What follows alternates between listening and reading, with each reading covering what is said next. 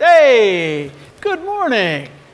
Well, it's such a joy, it's a privilege, it's an honor to be here with you guys this morning. And um, I've heard a lot about this church and this fellowship through my dear friend Jana Williams, has, has boasted on your behalf.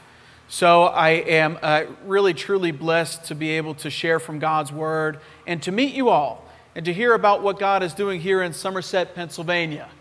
I met Jana in, in a unique way. She went to Cambodia first, and quite frankly, I don't even know how she went to Cambodia. Someday you'll have to tell me. But after she came back from Cambodia, she connected with me. You see, we've been working in the nation of Cambodia since 1994. God has given us an opportunity to do a lot of great things there in that nation. Uh, but it's very rare that people in the United States go to Cambodia first and then come to me and I get to meet them then.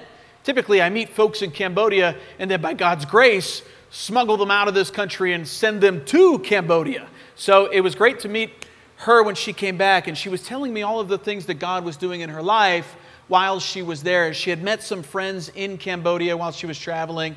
And I, I said, Well, this is fantastic. I said, So what are you going to do? And she said, Well, I'm going back there. I said, okay. And this young lady went back and traveled to each of the children's homes that we serve. At that time, were 14 different children's homes in 14 different provinces of one of the craziest countries on the planet. And I would get pictures back of her, like in a canoe, going down a stream in the middle of nowhere, Cambodia, with a big smile on her face. And I'd hear stories from our kids in the children's homes about how much they love this Jana Williams. It impressed me so much, and I'm forever grateful to your love for the kids and for that nation and your heart for missions. So thank you, my friend. I want to honor your parents. Thank God huh, that, that they were plucked out of Nevada and shipped here to Somerset, PA. Isn't God faithful, huh? Let's give them a round of applause for doing that. Um, I'm from Oakmont, Pennsylvania. My parents are from Oakmont, Pennsylvania. My grandparents are from Oakmont, Pennsylvania. I've tried to escape Oakmont, Pennsylvania many, many times, but all roads lead back there. My wife, Jessica, and my two sons, Joshua and Rocco, are here this morning. You guys want to stand up real quick so everyone can see you? I know that they can't wait to change the, from those shirts. How many of you have, have sons? Uh huh. Uh huh. Eight year old boys really are not delighted with button down shirts. But I'm so proud of these two boys. They, of course, have gone out into the mission field uh, and have, have been throughout Asia, have, done, have been used of God to do marvelous things in their own right. So just, we don't get a lot of time to visit churches together, so this is really a special day for us. Um, Oakmont, Pennsylvania is where we live as a family. It's where the ministry I serve, the Southeast Asia Prayer Center, our U.S. office is in Oakmont, Pennsylvania. This ministry was founded by my parents, Mark and Ellie Geppert. Now, my dad heard the voice of the Lord go and preach my gospel in the nations way back in 1976. When he heard that voice, at the time, he was Cosmo of Cosmo's Pizza Shop in Murrysville, PA. So Cosmo hears a voice from God Go and preach. I'm calling you to preach my gospel in the nations. And he called my mom, 1976, and said, Hey, I think I'm freaking out. And she said, Why? What's going on? And he said, I'm to sell the pizza shop today, and we're to go be missionaries. And I'm sure she said, Yeah, I think you are freaking out. They prayed. She had confirmed to her in dreams that that's what they were supposed to do. So they sold the pizza shop to a guy named Guido. The pizza shop's still there in Murrysville if you ever want to visit, Cosmo's Pizza Shop. Sold the business, went to Bible school, and in 1976 sold everything they had and drove to Guatemala. My mom was six months pregnant with my older brother at the time. They went to the mission field. Sam was born in Guatemala. I, they say I was made in Guatemala, but was born in the United States. uh, started this journey in missions. My father and mother found out from the Lord as they were learning how to be missionaries, they found out that prayer, prayer is in fact the practice that leads us to success. I love the drama, I love the skit, and it, it, practice makes perfect. Prayer is our practice, our portion. This is why we're called the Southeast Asia Prayer Center. And we are a prayer ministry first and then a missions ministry. I'm so grateful that this church has a heart and a tradition and a heritage for Christian missions. No nation in the history of the world has done more than the United States in advancing the kingdom of God. Our God is faithful to this nation, and He will pour out His Spirit on this nation yet again. Prayer is the practice that leads us to success in missions. Prayer is the practice that leads us to success in our lives. When we want to see our families changed, our communities changed, the nation changed. Prayer is, in fact, our priority. Meeting the needs of the people through missions, you better believe it, we're called to do that. But prayer is our positioning. So we're the Southeast Asia Prayer Center. Now, I want to tell you a little bit about prayer what this means to me. I said, Lord, okay, why prayer? Why prayer? Began reading through the Gospel of John. Here he is, turning water into wine, healing the blind eye, walking on water, doing these things. How many of you want to see someone walk on water? All right, I'll be the only one. I'm the only one in the church who would like to watch somebody walk on water. Come on, give me a break. Let's try this again. How many of you would like to watch somebody walk across water? All right, yeah, that little man right there. What's your name, son? Ezra. Ezra. You and me want to see someone walk on water, right?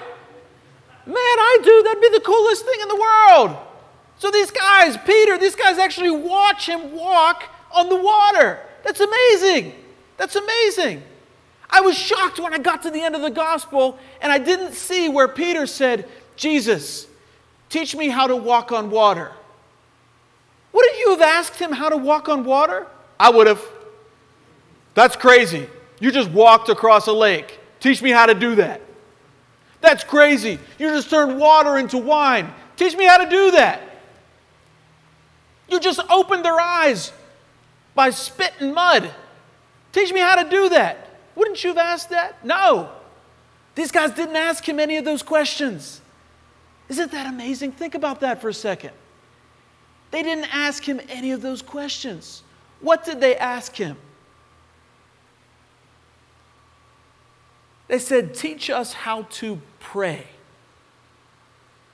Teach us how to pray. I would have said, Teach me how to walk on water, because that's going to be cool. They said, Teach us how to pray. Why do you think they did that? They knew.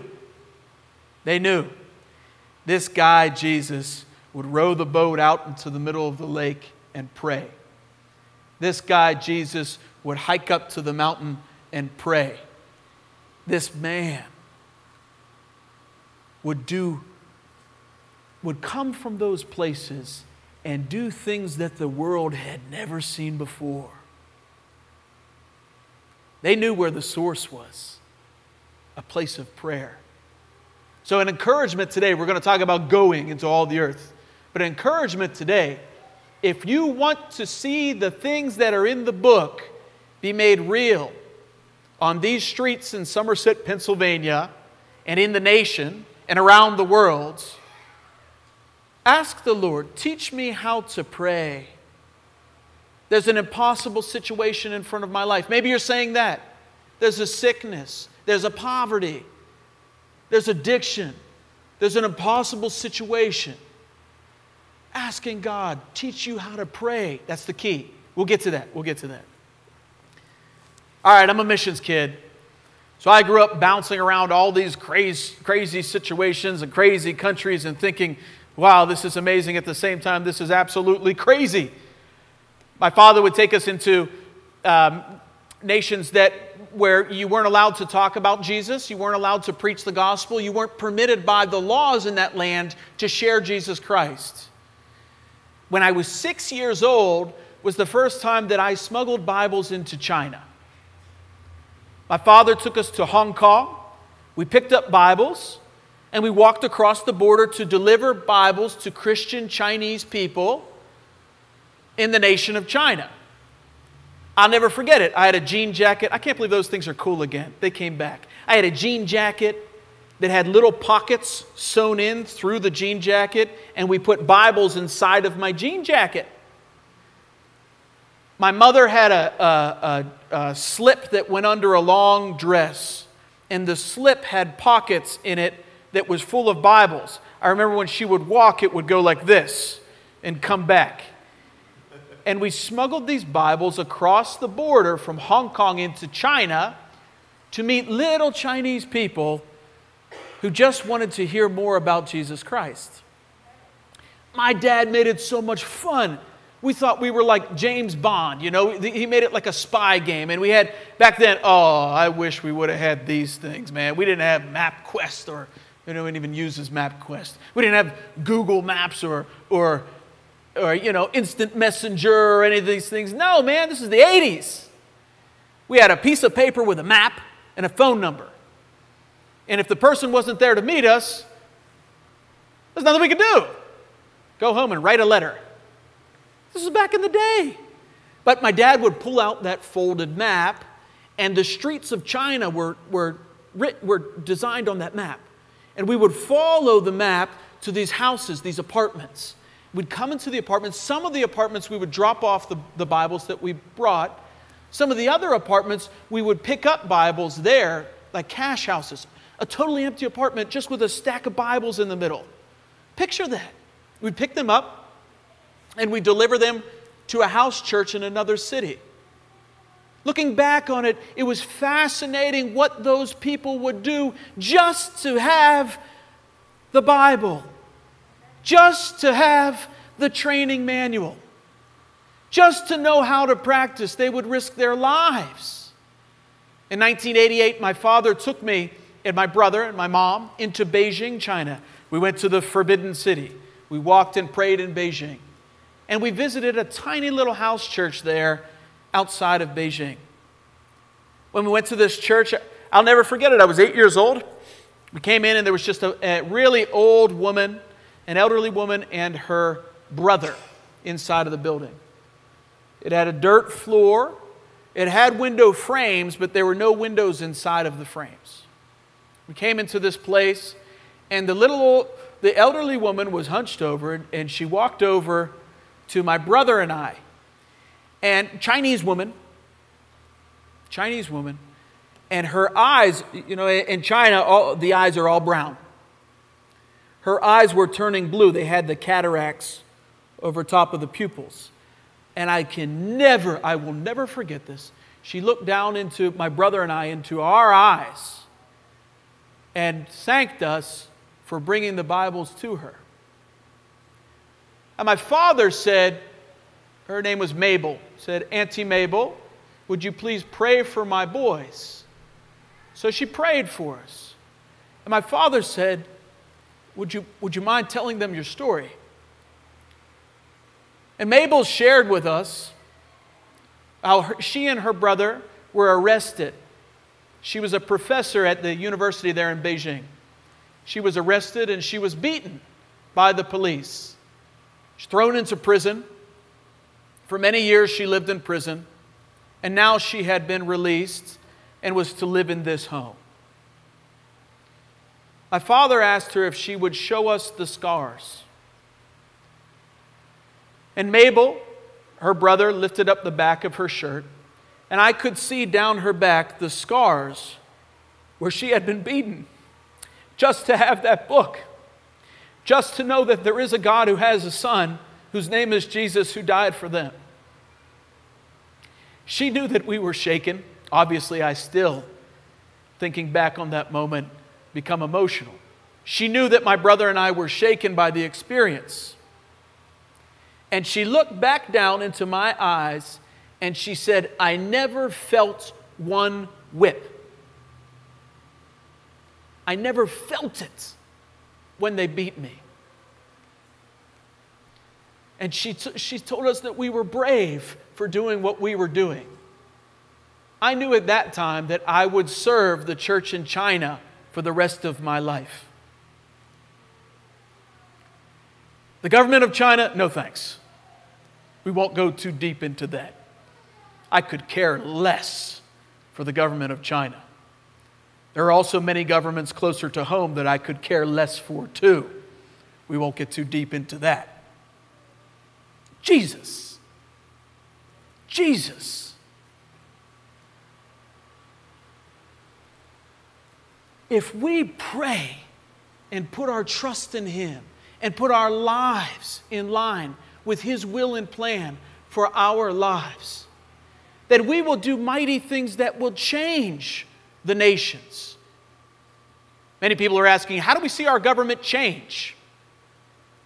There's an assumption that the nations follow the government. I'm here today to declare that that is not true. The government is not in charge of this land, nor is it in charge of China. It is the church of Jesus Christ that leads this nation since its foundation and so long as it remains. The government follows the church. The government follows the church. Auntie Mabel and her friends went wild all over China. And the gospel of Jesus Christ spread out until hundreds of millions people, of million people knew that there is a God and knew how to pray. I was arrested in China for the first time when I was 14 years old, smuggling Bibles across the Karakoram Highway into Western China with my parents, with my family. We were stopped at the border and we were arrested. This was 1994. But we were pulled aside and interrogated. My father was interrogated. The man took my father's Bible, and my dad said, No, you can't have that. And he said, But why do you want it? Why do you want it? And the government official who had arrested us at that time looked at my father and said, We won't let you do it here what you did in Russia. And my dad said, Well, what, what did we do in Russia? And the man said, If they have this book, they'll believe. And if they believe, there's nothing we can do to stop them. That's the report of the Chinese government. If they have this book, they'll believe. And if they believe, there's nothing we can do to stop them. When I look at this nation that we're serving here today, I'm in the midst of something called Pray Americas, mobilizing prayer in every state, in every capital, in every community across the United States. My hope is that again we'll come to the place of prayer because we have that book in our hands. We know those scriptures well, don't we? How do we again come to that belief? How do we again rise up into that belief that is unstoppable, that no force can touch? Prayer, prayer, prayer. In 1998, we were invited by the, the government of China to find kids with congenital heart disease and provide treatment for them across Tibet. It came out of a wild prayer, jo- prayer journey in the mountains of Tibet. We were invited. We partnered with Children's Hospital of Pittsburgh and we brought doctors there to Tibet to close holes in hearts. For 10 years, we brought doctors up and, and we would treat the kids who had holes in their hearts there in Tibet. The same nation that I was arrested in in 1994 now invited me personally as a liaison to bring in health care across China. For 10 years, we treated these kids, and at the end of 10 years, a comprehensive health program was established in Tibet. On the day that I left Tibet in 2012, there were 336 new churches that had been birthed out of that across the Tibetan plateau. I was flown from Lhasa, Tibet, to Beijing, China, invited by the healthcare department of the People's Republic of China to dinner. The dinner was inside of the Forbidden City. As an honored guest of the People's Republic of China, I walked into that Forbidden City, remembering Mabel, remembering the faithful ones who had stood in the gap, and I sat down in the Forbidden City and was served lobster. Lobster in China. And the Lord reminded me of those years and said, Matthew, I can turn the heads of kings on your behalf. I can make a way. I can change anything. Right now, I really pray for China. I really pray for that nation because there are believers all across that nation who are this close to flipping that whole country in revival. There are leaders in the government who I have personally led to Christ, who are seated in high places, who are just on the cusp of changing this nation for good. I want to ask a, a crazy thing. I would assume talking about the government of China in Somerset, Pennsylvania isn't a popular thing. That's just an assumption. I know in Oakmont, Pennsylvania, where I live, it's not a popular thing. I would make an assumption that it's not too cool to talk positively about the government of China in Somerset, PA. Am I accurate? Am I accurate here? And I certainly am not here to promote that government by any means. Evil, corrupt, manipulated. Oddly similar to governments closer to home. But I am here to represent that church in that nation and those brothers and sisters who are every day on their knees asking God for help. I am here to represent them. One of the house churches has sent a request, a request to me one time asking for carpet for their church. I thought, carpet for the church? Man, there's a whole lot of other things that we can help. You guys are in poverty. I'm thinking of this church. You guys are in poverty. Let's go get to carpet. Let's deal with food and health care and, and let's take care of those things first. Clean water. Then we'll get to carpet they said, no, no, no, we need $100 for carpet for the church in China.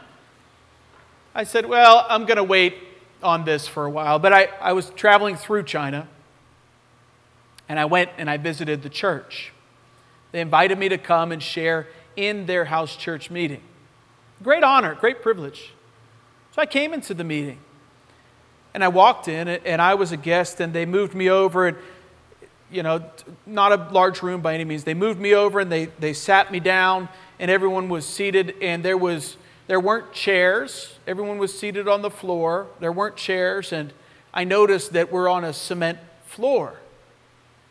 But in the front of it, there was a, a portion of carpet that was at the front.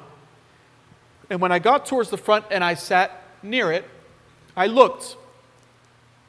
And that carpet was worn thin with knee marks of the saints praying in that place. That was the easiest $100 I ever spent in my life. They knew that if they would pray, God would hear their prayers. And they knew that if God hear, heard their prayers, they were unstoppable. My hope today is that we, friends, would believe, that we would commit ourselves to prayer. I work in a communist nation of Cambodia. We, we served 8,000, uh, first we started with eight public schools with 4,000 students and 178 teachers. When we came there walking and praying, uh, the Lord made an opportunity for us to bring a curriculum from my local high school into that public school. We said, the only way we'll come is if we're allowed to pray in this public school. They said, fine, you can pray. So we came, and the superintendent of the public school, Mr. Bunheng is his name, prayed with my father, and he was miraculously healed in his back during the prayer. And he gave his life to Jesus and became a Christian. When he became a Christian, he determined in his heart he would lead all the other teachers to Christ, all 173. They became Christians.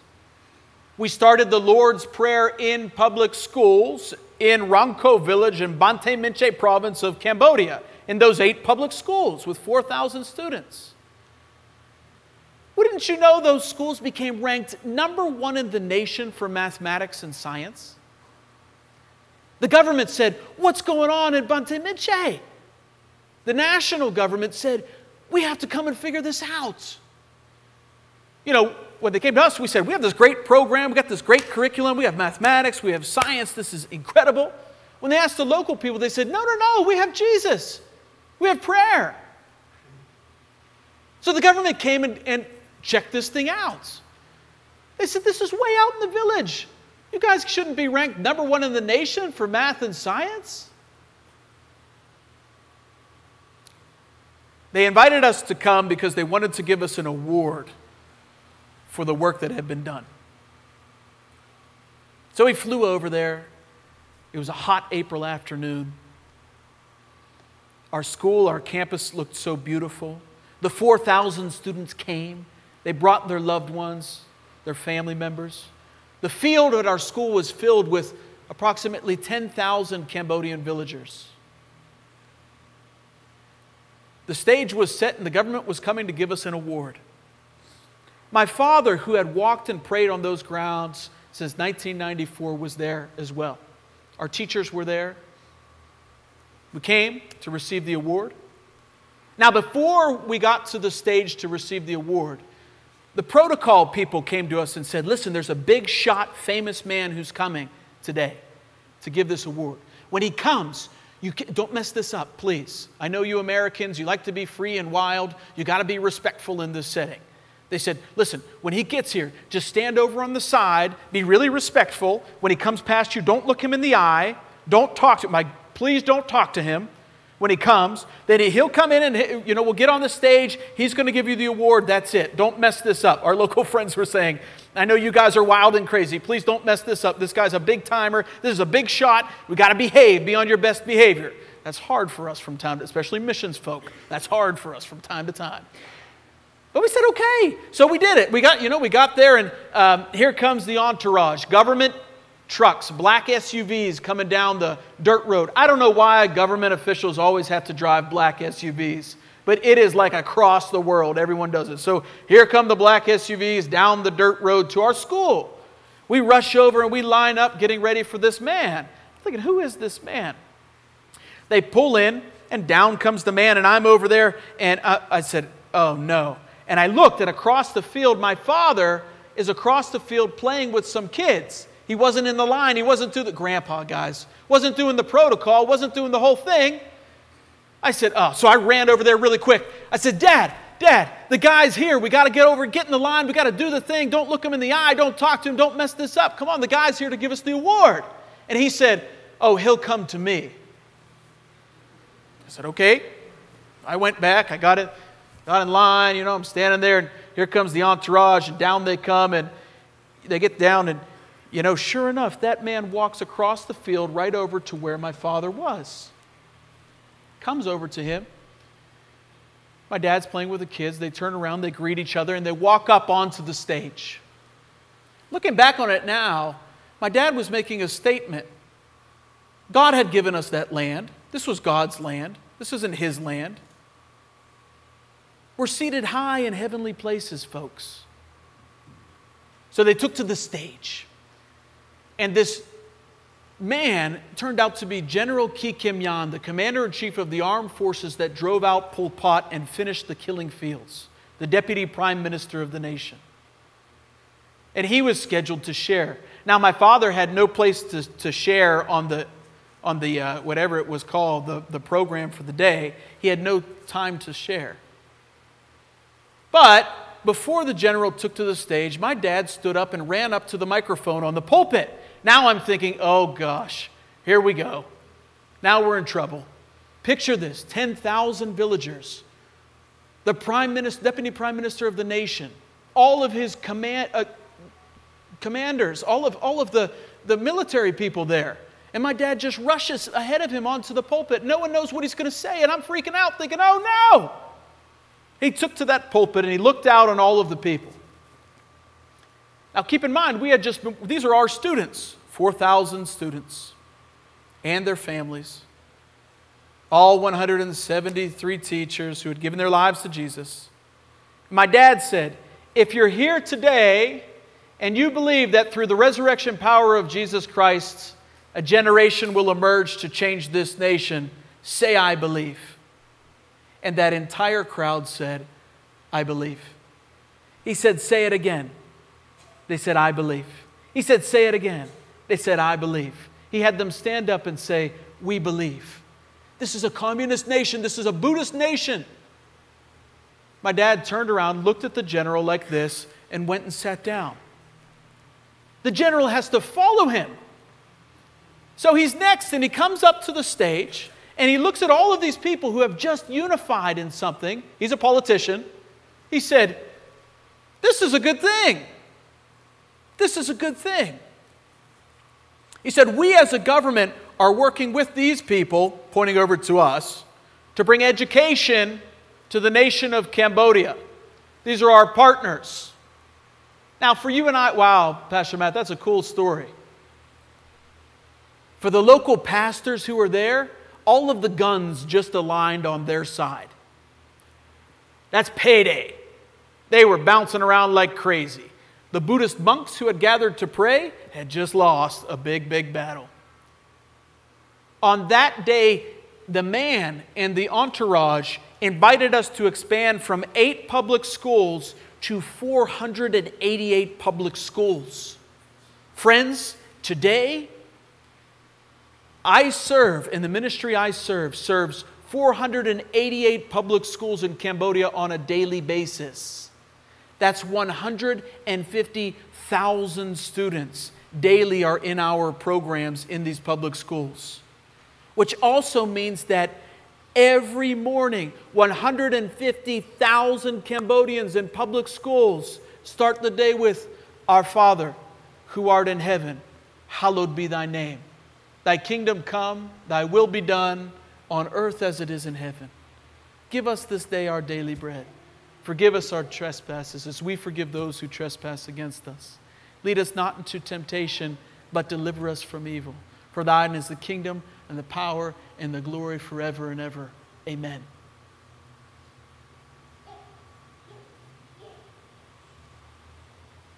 So, COVID. I've been in America for one full year. I haven't been in Cambodia, which before COVID I was there at least once a month. So, COVID.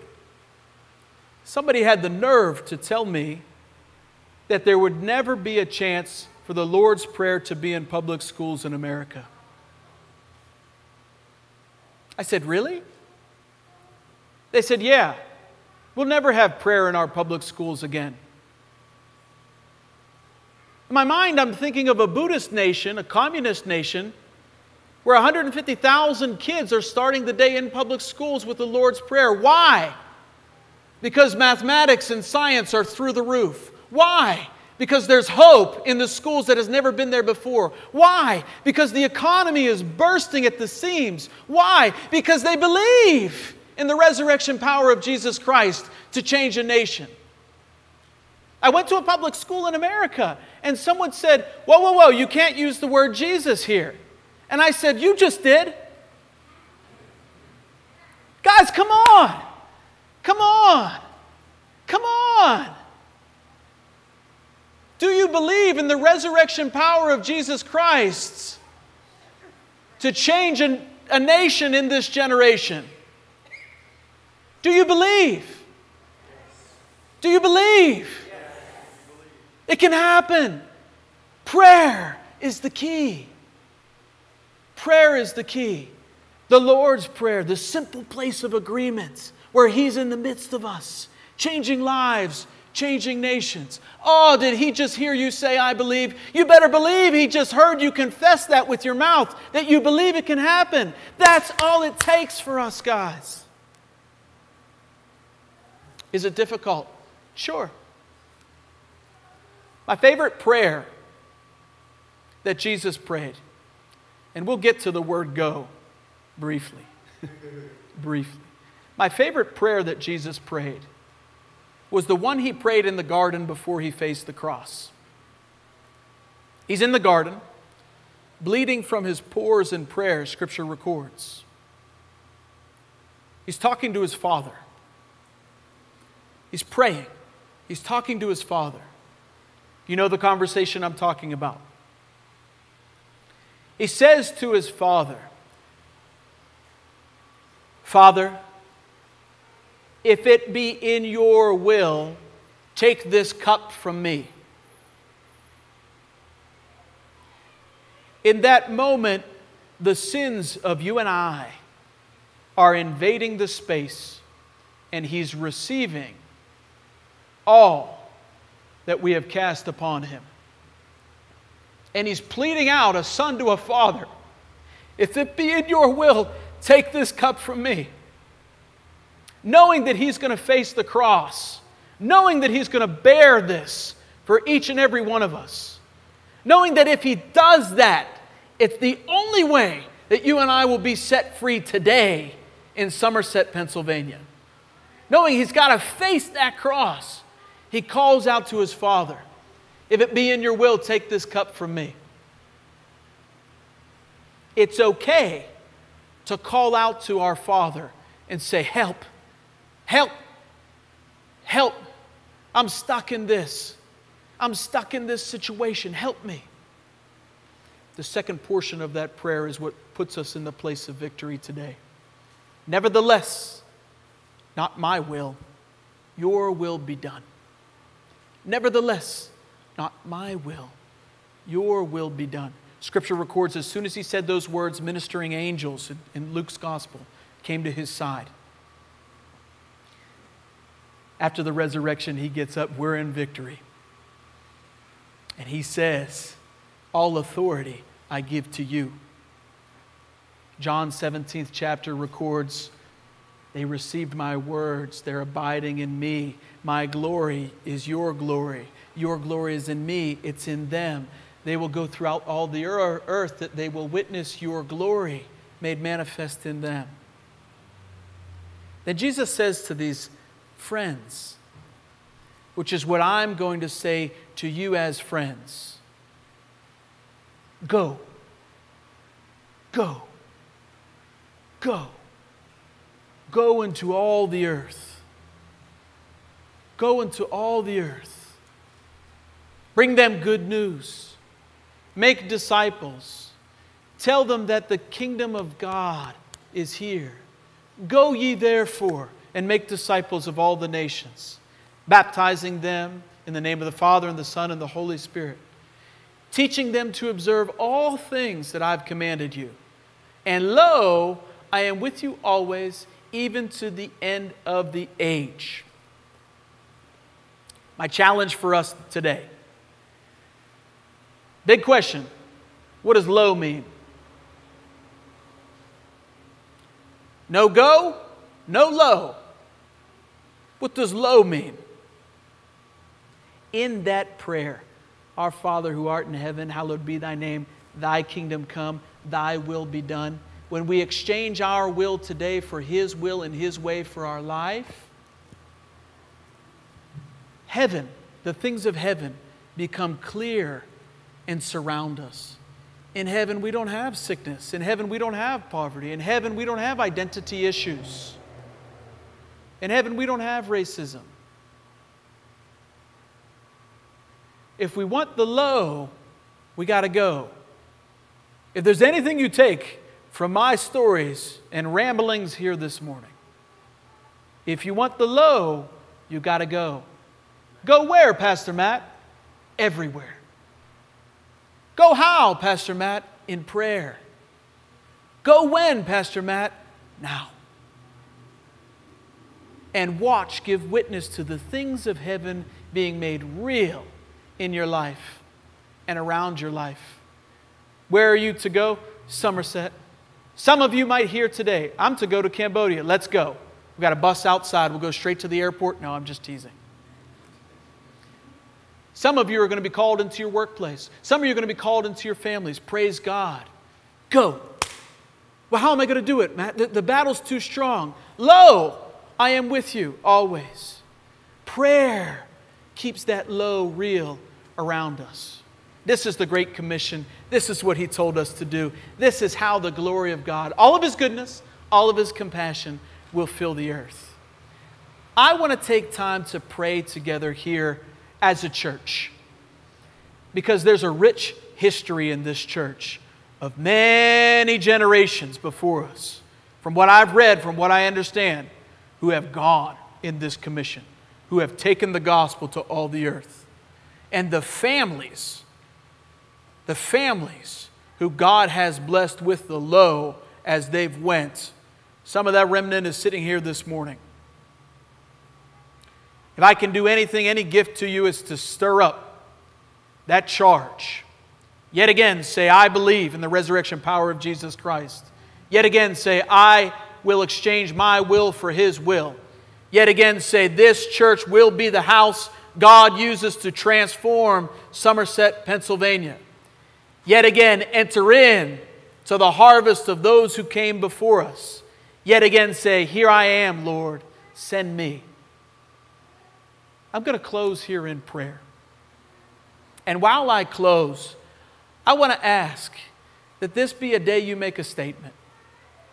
If you're saying, okay, Matt, I'm feeling a call to go to the nations to pre- the, preach the gospel, I want you to come forward and pray with me.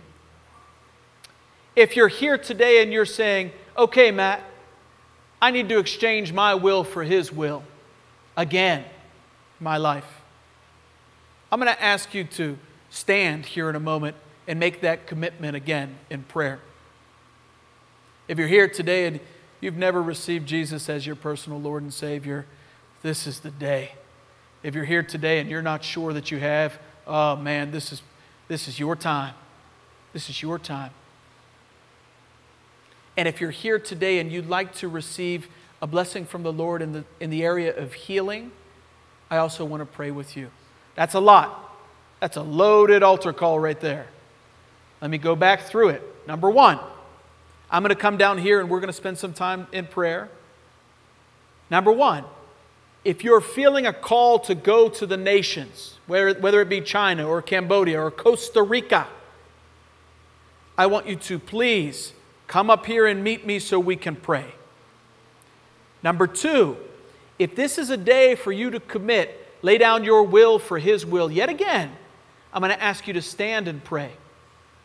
Number three, that special healing. If you need a healing touch in your body, I'm going to ask you to come forward and pray.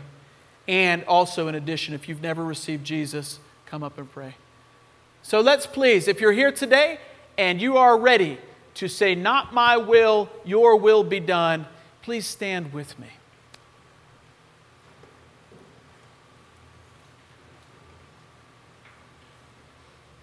Amen. And if I might be so bold, could we come up and sing a song? Could, could we? Would that be okay, Pastor? I don't know how we're planning to close. You have a song ready? Okay, if we could come up and, and, and close with that song. And while that song, while we're closing with that song, first of all, thank you for standing. Thank you for standing. Jesus knows, He sees it. While we're singing this song, if that's you, if you're one of those who is feeling the call to go to the nations, I'm going to come right down here and just pray. I want to meet you. I want to pray with you. Okay? Let's go to the last song. Uh, and also, if, if you're somebody who's looking for physical healing, I believe that we serve a mighty God and a Holy Spirit who heals. the sick. I've seen it too many times. I cannot deny what I have witnessed. And if you need healing today, let's pray and believe God for it. May a great testimony go forth through our church. I'll pray and then we can sing. Heavenly Father, we give you praise. Lord, I thank you for this house that you've set apart. Lord, I thank you for stirring us with your Holy Spirit today. Father, I ask that you would be glorified, be praised, delight in the commitments of your servants and your friends to go forth from this house today in your will for their lives. Oh, I know this makes your heart happy. Now, Father, as we worship you, Holy Spirit, I ask that you would come and move amongst us, secure this call to the mission field in our hearts, bring healing to the sick, and draw those who don't know you to you. I thank you for this church. Blessed I ask, in Jesus' name, amen.